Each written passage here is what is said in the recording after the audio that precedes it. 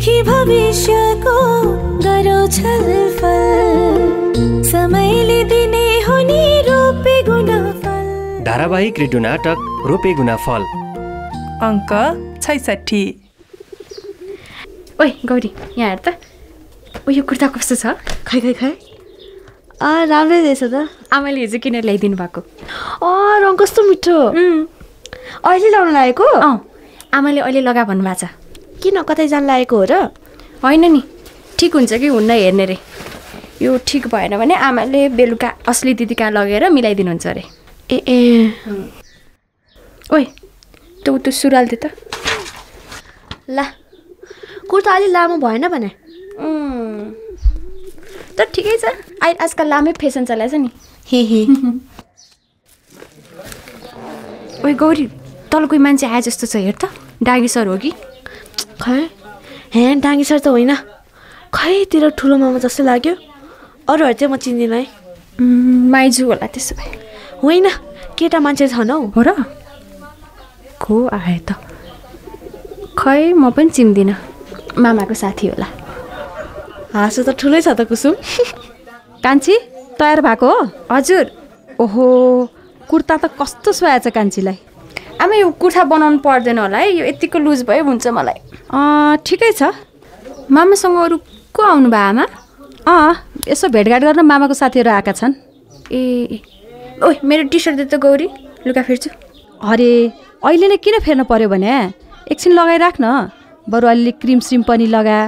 Cream? लगा न। घर नयाँ मान्छे आएका छन्। भत्ताभुङ्ग भएर बस्दा राम्रो देखिन्छ त।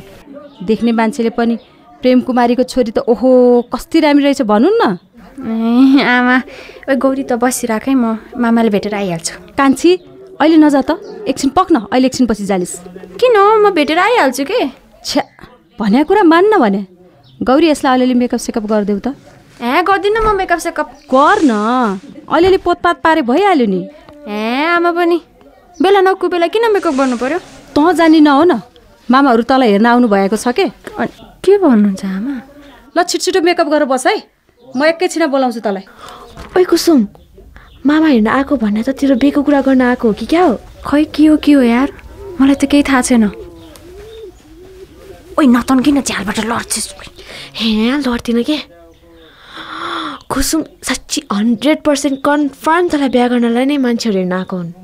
हे यो आमा पनि कस्तो ओइ कुसुम केटा पनि तलै छ जस्तो छ। भयो होस्।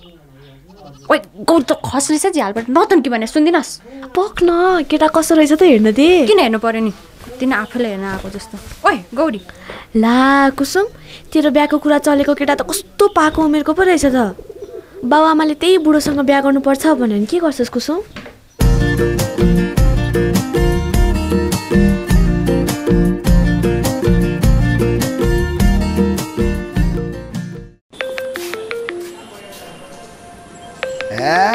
यसले फेरि किन फोन गरिरहेको छ? कति सताउन सक्यो यार? विवेकजीलाई कसले फोन गरेर सताइरहेछ?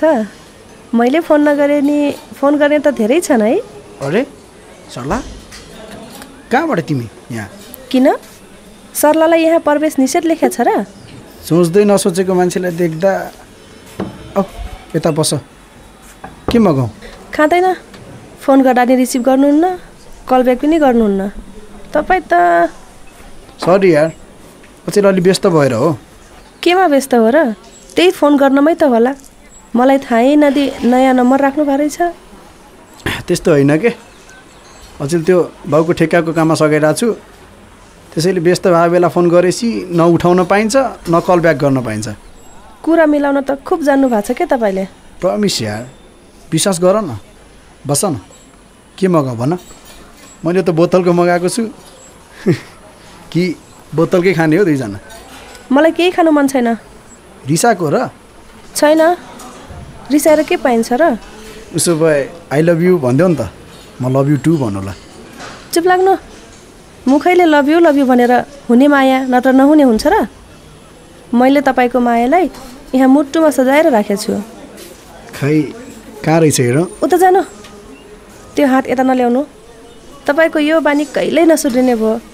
मेरो माया मुटुमा कसरी सजाएको रहेछ भनेर हेर्न खोजा के? खै देखाऊ त। नजिस्किनु है विवेक बाबु। जहिले जिस्किनु भएको हुन्छ। मलाई मन पर्दैन तपाईँ यस्तो गरेको। ल ल। अब जिस्किन्न। तर तिमीले एउटा कुरा नडाँटी भन त। के? म यहाँ छु भन्ने कुरा चाहिँ तिमीलाई कसरी थाहा भयो? मसँग पनि मान्छे छन्। तपाईँ कहाँ जानुहुन्छ के गर्नुहुन्छ सब पत्ता लगाउँछन्। बुझ्नुभयो? को छ र त्यस्तो? छ नि। बाहिर पनि छन् घरमा पनि छन्। भनेपछि किसनले थाहा दिएको रहेछ होइन? मान्छे त ठिकै हो तिम्रो भाइ। तर त्यसले एउटा काम चाहिँ साह्रै गल्ती गर्यो। त्यसले हाम्रो बारेमा बुवासँग चाहिँ नबन्नु पर्ने थियो क्या त्यो कुराले त झन् सहयोग गरेका छ। उसकै कुराले त सबैतिर हाम्रो बिहेको लागि राम्रो माहौल भएको छ नि। आजै माहौल बनेर के गर्नु? अहिले बिहे गरेर के गर्ने? ल भन त तिमी आफै। अब कलेजको पढाइ नै बाँकी छ। पछि पढाइ सबै सकेर जागिर खानु पर्यो। अनि बिहे भन्ने कुरामा नि हतार गरेर हुन्छ त। तिमी आफै भन न। खै मैले के भनौँ? घरमा बिहेको कुरा अगाडि गइसक्यो? कुरा भने जता लग्यो त्यति जान्छ हेर। मिलाउ न घरमा। तिमी पनि अहिले मलाई बिहे नै गर्नु छैन भनिदेऊ। कुरा सक्यो त? तर उहाँले तिमी तिम्रो बुवालाई मिलाऊ म मेरो बुवालाई सम्झाउँछु। त्यसो गरे भएन? तपाईँको बुवाले त मान्नुहोला। मेरो बुवाहरूले भनेपछि भन्यो भन्यो।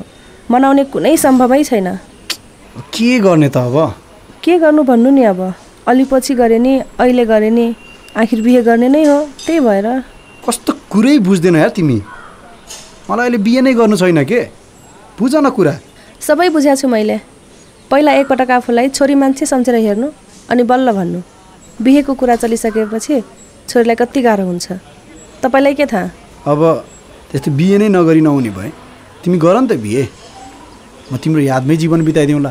भनेपछि छिटो बिहे गरेर गए हुन्थ्यो भन्ने भारे छैन? त्यस्तो होइन के सरला? तिमी फेरि कुरा घुमाउनु थाल्यौ। तिमीसँग टाढा हुन मन होला त मलाई। मैले तपाईँलाई राम्ररी चिनिसकेँ। नछुनु मलाई। तैँले मलाई गालामै हानेको? मैले उहिले हिर्काउनु पर्ने। किसनले भन्दा पनि मैले उसको कुरै सुनिनँ। तिम्रो विश्वास गरेँ। मलाई अरू केटी जस्तो सोचेर युज गर्न खोजेको? हेर्दै जाऊ। म कस्तो केटी हो र के के गर्न सक्छु भनेर।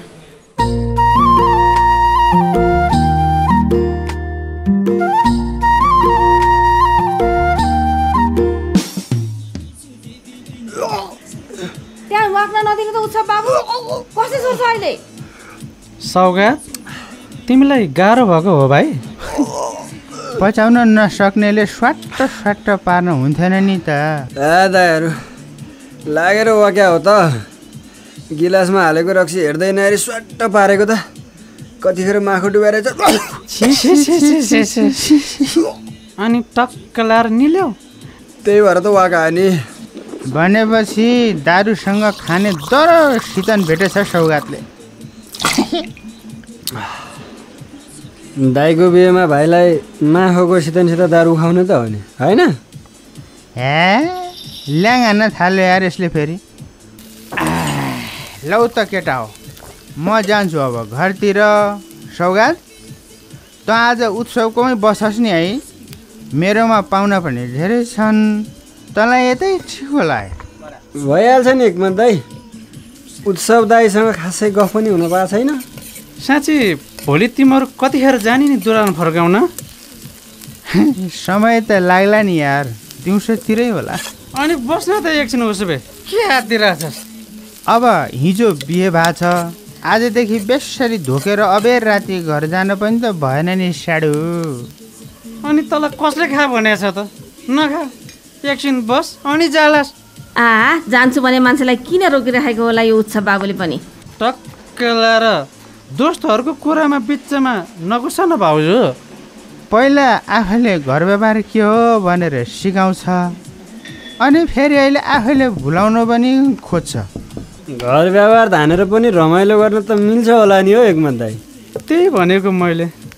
मलाई हेराउ न। बालबच्चा स्याहार्नेदेखि घर परिवारको झमेला। कुखुरादेखि ढावासम्मको लफडा। अरूका लागि गरेको होस् रे यार। सुन न। अनि पैसाको तनाव उस्तै। ऊ बेलाको मोजमस्ती र अहिलेको खुम्चिएको जिन्दगी। तर पनि चलाएकै छु त। साले अस्तिसम्म आजै बिहे गर भोलि बिहे गर भनेर त्याइस अहिले बिहे अघिकै जीवन ठिक थियो यस्तो कुरा गर्छ बा मलाई भड्खालोमा हो तैँले त्यस्तो पनि होइन। मैले बिहे गरेर दुई दुईवटा छोराछोरी पनि भइसके। तर तैँले भेटौँ न भने दिन मैले कहिले नाइ भनेको छु र टक्क लाएर फरक भयो कि भएन? आफै छुट्या त। म पनि नौली गाईलाई नौपुला घाँस त खुवाउनै पर्यो भनेर मात्रै हो हेर नत्र त तभन्दा मनमौजी प्राणी हो म बुझिस्। ए अँ बिर्सिस् तैँले? कुरो छिन्न जाँदा मामा ससुराले के भनेका थिए मलाई? के भनेको थिए रे छोरी टाठी छे उसको जाहिरी खाने ठुलो रहर छ। पाएसम्म खोजिदिनु पनि भनेका छन्। नबुलेस् नि फेरि। बैकिनीले घर घरि खाना छोडेर किन गर्नु पर्यो जागिर? त नरिसा है। मलाई त भाउजूले पनि बालबच्चा छोडेर अहिले जागिरमा कुद्या मन परेको छैन। के गर्ने त नि उसको पुरानै रहर हो जाहिर खाने। सबै रहर पुरा हुन्नन् के? त्यसमाथि त्यो जगतैले जागिर लगाइदिएको रे होइन? हो। किन? श्रीमतीका कुरा त अहिले नगरे नि हुने चुप लाग न एकछिन। भइगयो नि त नबोलिदिउँला। अँ भन त। जगतले लगाइदिएकोमा के खराबी छ र? त्यो जगतेको विगत खासै राम्रो रहेन रहेछ नि। मैले घुरो घुरो सुने पहिला पनि धेरै केटी मान्छेसँग लफडाले स्वास्नीसँग धन्नै पार पाचुके भएको थियो रे। होइन? के भन्छ? कसरी थाहा पाइस् तैँले? थाहा भइहालिन्छ नि। हाम्रा नि मान्छे छ नि यार। मलाई नि लाग्न चाहिँ अलिअलि कस्तो कस्तो त लागेको हो। यदि तैँले भनेको कुरा साँच्चै हो भने त निगरानी गरिराख्नु पर्ने भयो पो त। रोपेको फल तपाईँलाई कस्तो लागिरहेको छ? नाटक सुनिसकेपछि आफूलाई लागेका कुराहरू हामीलाई भन्नुहोला। नाटकमा सोधिने प्रश्नको सही उत्तर दिएर तपाईँ विजेता नि बन्न सक्नुहुन्छ। रोपेगुना फलको अन्त्यमा सोधिने प्रश्नको जसले सही उत्तर दिन्छ त्यसमध्येबाट चारजना विजेता हुनुहुनेछ। विजेताले तत्कालै दुई सय रुपियाँको रिचार्ज कार्ड पाउनुहुनेछ भने हरेक हप्ताका विजेता मध्येबाट प्रत्येक तिन महिनामा एकजना सुपर विजेता घोषणा गरिनेछ। सुपर विजेताले स्मार्टफोन जित्न सक्नुहुनेछ। हरेक हप्ताका विजेता मध्येबाट नाटकको यो सिजनको अन्तिम अङ्कमा महाविजेता घोषणा गरिनेछ। महाविजेतालाई आकर्षक बम्पर पुरस्कार दिइनेछ।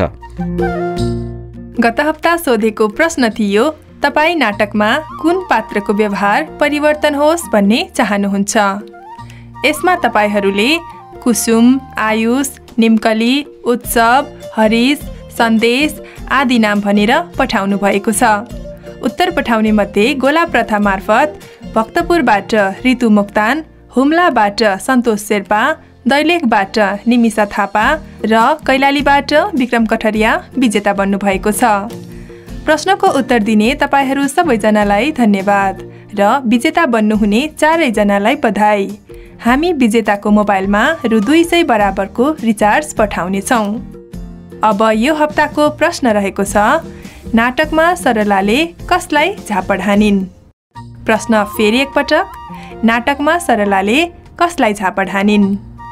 नाटकको बारेमा आफूलाई भन्न मन लागेको कुरा तथा अघि सोधिएको प्रश्नको उत्तर दिनका लागि तपाईँ एनटिसी प्रयोग गर्नुहुन्छ भने सोह्र साठी शून्य एक तिन चार पाँच छ सातमा र एनसेल प्रयोग गर्नुहुन्छ भने अन्ठानब्बे शून्य पन्ध्र पचहत्तर शून्य शून्य आठमा फोन गरेर त्यहाँ प्राप्त निर्देशनअनुसार आफ्नै आवाजमा रेकर्ड गराउन सक्नुहुन्छ।